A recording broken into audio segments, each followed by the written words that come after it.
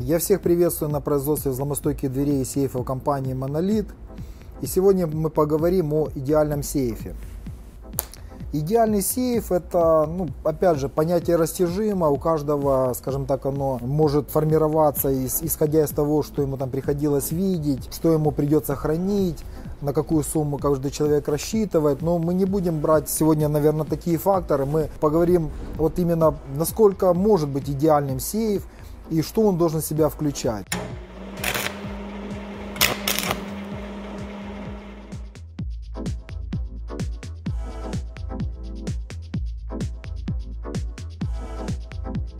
Начнем с таких как бы ну, неочевидных вещей, которые в принципе мало кто задумывался, но, но когда он начинает подбирать сейф, он с этим всегда сталкивается. Многие из людей хотят вот как бы компактный сейф, в котором, скажем так, ну, помещалась папка А4, ну и какая-то определенная там объем по ценности, деньги. Мы не будем говорить о оружии, потому что, допустим, оружейный сейф это просто железный ящик, который не претендует на какие-то там супер защитные свойства. Естественно, если это не коллекционное оружие, не инхрустированное драгоценными камнями. То есть мы сегодня говорим о сейфе, по ценности, под бумаге. И когда человек, допустим, начинает, скажем так, искать место под сейф, как правило, это место вот начинает уже как бы поджимать, грубо говоря. Там, где он планировал расположить, уже оказывается, что он думал, что там 30 сантиметров это поза глаза. Ну и в принципе, то есть на слабенький сейф этого достаточно, он туда становится. Но тут он хочет увеличить стенку, он хочет увеличить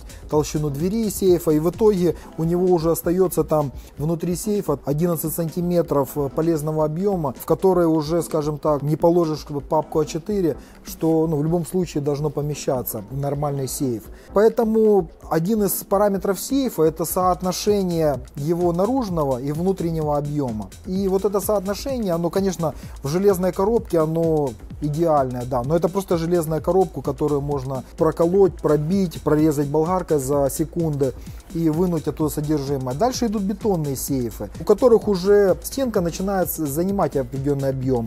Но здесь такое, то есть, скажем так, бетонные сейфы, как правило, вот то, что Max Market, это там условно 2 мм наружный металл, 2 мм внутренний металл, между которыми залито условно 3 см бетона. Ну и для большинства людей это уже кажется что-то чем-то таким немыслимым и защитным.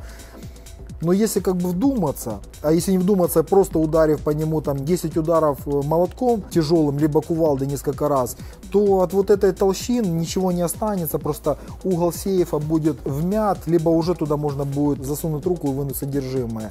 Поэтому, как правило, в бетонных сейфах, ну в нормальных бетонных сейфах, наружный лист это 5 мм, металл, потом как минимум 5 сантиметров бетон, а лучше 5-6 сантиметров бетон, ну и потом внутренний лист. И в итоге мы выходим на одну только стенку, толщину стенки 6-7 сантиметров забирает только одна стенка, 7 сантиметров. Плюс с другой стороны 7 сантиметров железобетона. А если это говорить о дверце, то дверца нормального бетонного сейфа занимает 11 сантиметров. То есть это удаление ригелей, механизмов. То есть одна только задняя стенка и дверца сейфа, это уже в сумме почти 20 сантиметров забирают. Поэтому для нормального бетонного сейфа нужно отводить 40-50 сантиметров полезного размера наружного, чтобы внутри получить под папку А4 там 25 сантиметров на 35 сантиметров. Поэтому бетонный сейф, железобетонный, хороший, это ну классно. Но самый идеал это, конечно, цельнометаллические сейфы. Ну, цельнометаллические сейфы, допустим, толщиной там 2 мм, это просто железный, это почтовый ящик. Если там 5 мм, на самом деле это тоже не тот материал, который будет долго сопротивляться взлому. 10 миллиметров, ну уже что-то, но это все равно, допустим, легко режется болгаркой э, намного быстрее, чем железобетон, то есть и, допустим, что-то хранить э, суперценное, супердорогое, там за 10 миллиметров металла, ну не очень, скажем так, надежно. Ну а если говорить уже о 2, 3, 4 сантиметрах металла, ну это уже ближе получается к тому, зачем было бы удобно хранить, и в принципе самый как бы оптимальный можно назвать цельнометаллический сейф с очень толстыми стенками, там условно по 4 сантиметра цельного металла с одной стороны, 4 сантиметра с другой. И как бы в идеале, чтобы это внутри было еще кожушка из бронестали, которая не сверлится так просто, не режется так просто. В идеале было бы так. Это мы говорили о параметре, самом таком, можно сказать, третьестепенном параметре сейфа, это вот соотношение наружного и внутреннего объема.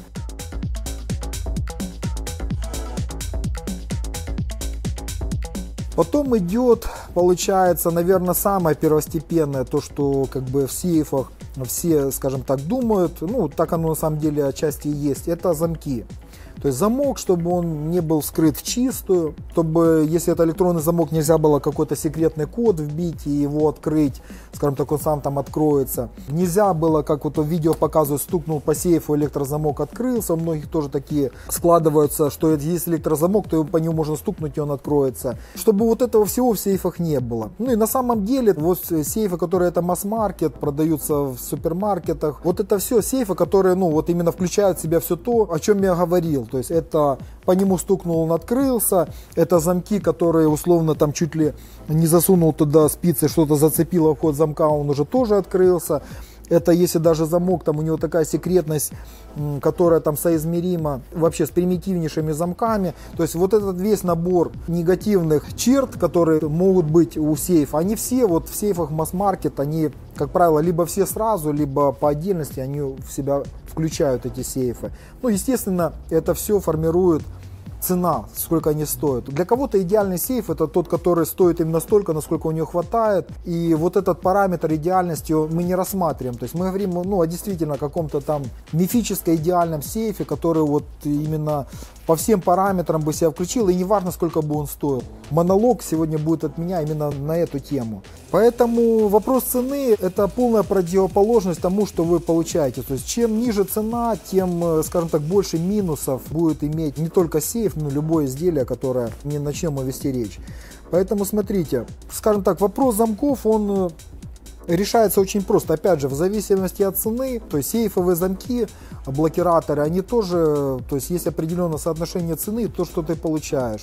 Вот в частности, Mauer в своем плане это идеальный замок. В плане того, что в чистую его вскрыть на вот таком как бы удалении и в принципе замок в чистую вскрывается очень сложно, то есть очень мало специалистов, которые смогли бы вскрыть чистую. А вот эта вот э, вся толщина, за которой он находится, при правильном расположении, эта вся толщина должна защищать этот замок. И, допустим, сверлением он тоже за счет его удаления можно его защитить, чтобы он скрывался тоже очень сложно, повреждением. И как бы идеальная компоновка это механический и электронный замок. Почему идеальная компоновка? Потому что на электронном замке очень легко как бы поменять код, имея уже фото ключа либо слепок ключа, уже его будет относительно проще этот замок открыть, подготовив уже сразу инструмент под секрет ключа, то в электронном замке такого нет. Допустим, если даже там периодически менять код э, на электронном замке, то это можно вообще исключить, этот вариант. Поэтому компоновка из электронного кодового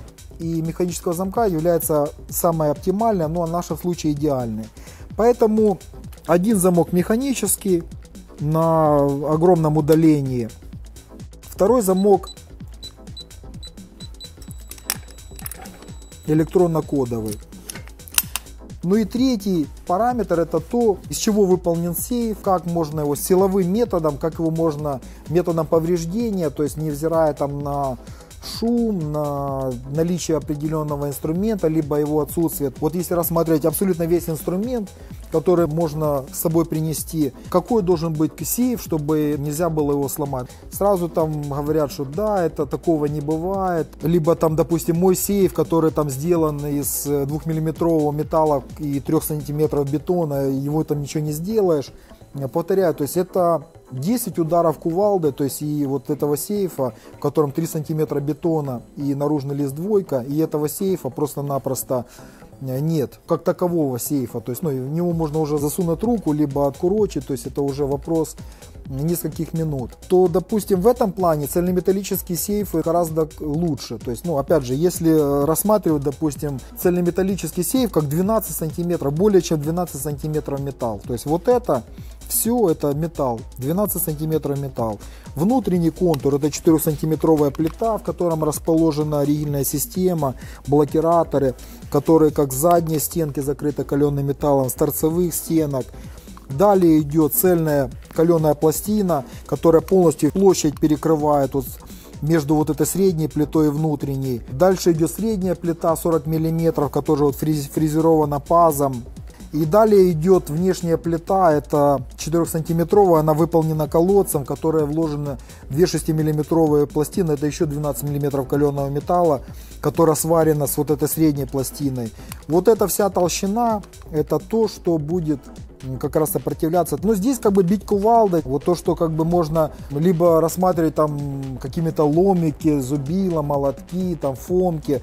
Это абсолютно ну, бесполезный инструмент, который здесь, ну разве что покраску повредит. То есть, ну, покраску повредит, он больше ничего не сможет сделать вот такой конструкции. Здесь либо болгарка, либо автоген, резак, то есть то, что резать сразу же, либо это сверление. То есть, ну, сверление, которое будет там длиться не минуты, не секунды, это многочасовые сверления за счет того, что это слои обычного металла, каленого металла, это непонятное расположение блокираторов электронных. Вот эти все методы, они растягивают вскрытие сейфа не на секунды, не на минуты, а это уже речь идет о часах.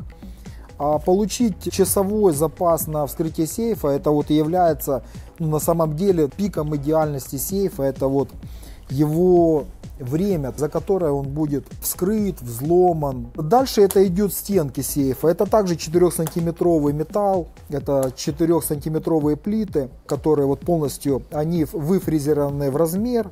У них снята фаска специально сварочная. Сварка производится именно на всю толщину этих 4-сантиметровых плит. Здесь получается не просто по наружу оно проварено. Здесь именно технология сварки, так как она должна быть. Это снимается специальная фаска по 30 градусов. И туда полностью заливается сварка на всю толщину плит 4 сантиметровых. И в дополнение ко всему этому идет внутренняя кожушка, идет шведская сталь Armax. Все внутри сейф полностью обшит шведской сталью Armax. Она вся тоже собрана в замок. Просто здесь, допустим, коронка просверлить отверстие и там получить доступ не получится, потому что шведская сталь Armax это каленый металл, который не сверлится, так как обычный металл, даже 40 мм обычного металла просверлить проще, чем э, шведскую бронесталь.